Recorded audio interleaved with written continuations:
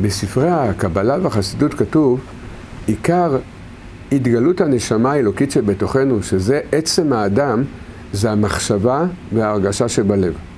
ועל כן, אמר הבעל שם טוב, במקום שאדם חושב, שם הוא נמצא.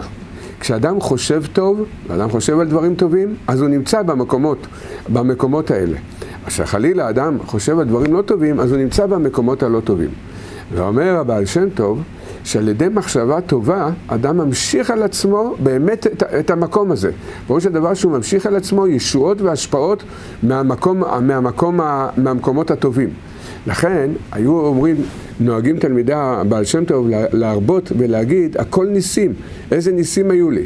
על ידי שאדם אומר שהיו לו ניסים, וכל ההנהגה של השם זה הכל ניסים, על ידי זה ממשיך על עצמו ישועות ממקום רוחני שנקרא ניסים. על ידי זה הוא ממשיך על עצמו טובות ורחמים וחסדים.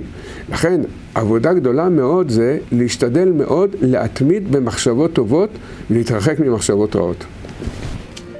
להקדשת השיעורים של הרב להצלחה, לזיווג, שלום בית, רפואה, לעילוי נשמת. התרומה עבור עזרה להפצת התורה. ניתן לפנות לטלפון 02-650-2929.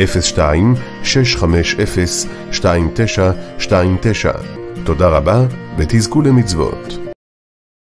הירשמו לערוץ של הרב ויישארו מעודכנים.